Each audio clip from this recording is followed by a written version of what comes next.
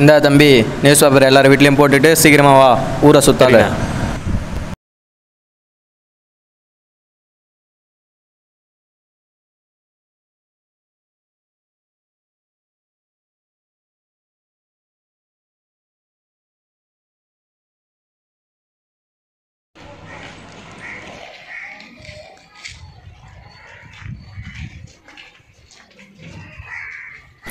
டேய் தம்பி இங்கே வா. எந்த நேரத்துக்கு வந்து நியூஸ் பேப்பர் போடுற? டைம் என்ன ஆகுது? இல்லைண்ணா அது வந்து என்ன வந்து? டைம் பத்து நிமிஷம். இன்னைக்கு லேட்டாக நியூஸ் பேப்பர் போட்டிருக்கேன். நான் ஆஃபீஸ் போவேனா? ஒரு நியூஸ் பேப்பர் படிச்சுட்டு தானே நான் ஆஃபீஸ் போக முடியும்? நியூஸ் பேப்பரில் வர செய்தி பற்றி உனக்கு என்ன தெரிய போகுது? நாளிலேருந்து ஒழுங்காக நியூஸ் பேப்பர் போடல காசு தர மாட்டேன். போடா.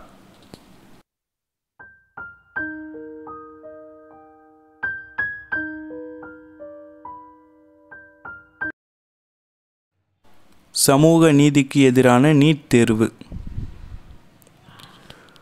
பேப்பர் போடும் மாணவன் சாதனை.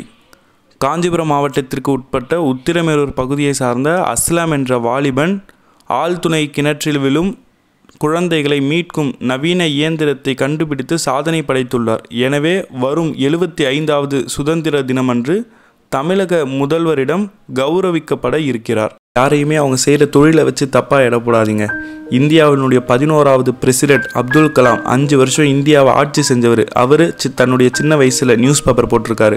பல கண்டுபிடிப்புகளை கண்டுபிடிச்சு இந்த உலகத்துக்கே ஏவுகணையை தயாரித்து கொடுத்த முதல் மனிதர் அப்துல் கலாம். அவர் தன்னுடைய சின்ன வயசில் நியூஸ் பேப்பர் போட்டவர் தான். பல கோடி ரூபா சம்பளம் தரும்.